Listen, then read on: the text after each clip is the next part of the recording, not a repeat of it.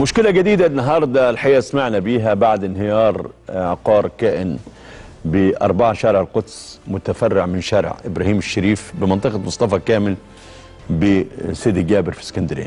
الحقيقة مشاكل العمارات اللي بتسقط كتيرة أرواح بتزهق مشاكل متعددة. يا ترى المباني دي ليه؟ لما النهاردة يسقط عقار مكون من سبعة أدوار. طيب صدر له قرار بإزالة دورين الدور السادس والدور السابع. كمان صدر له قرار بترميم باقي الأدوار. ده زي ما قال السيد محافظ اسكندرية الدكتور محمد سلطان. طيب صدر قرار الإزالة. تم إخلاء المبنى ما عدا أسرتين رفضوا الخروج من المنزل برغم عدم صلاحيته للسكن. قوات الدفاع المدني ومعها قوات من الجيش.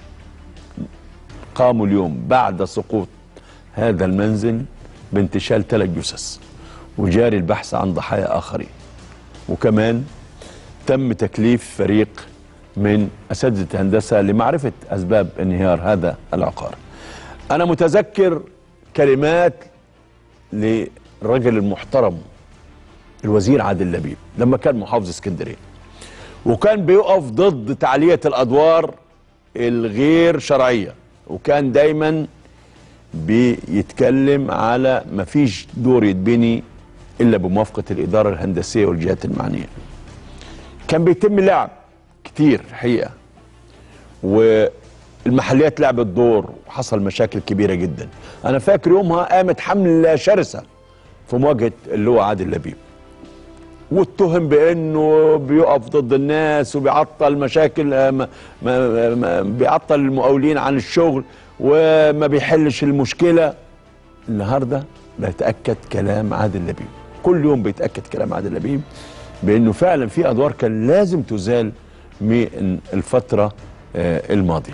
طبعا ده يخلينا نتكلم عن دور المحليات. النهارده إمتى يتساءل المواطن المصري؟ إمتى هتتم انتخابات المحليات؟ يمكن اتقال اليومين اللي فاتوا ان هتتم آه الانتخابات دي اللي بتتم من أو من من من 10 سنين فاتوا دي أول انتخابات هتتم احتمال تتم في آه يا إما النصف الأول من العام المقبل اللي هو 2019 أو قد تتم قبلها بفترة. لكن إحنا محتاجين الحقيقة المحليات تعود وبسرعة.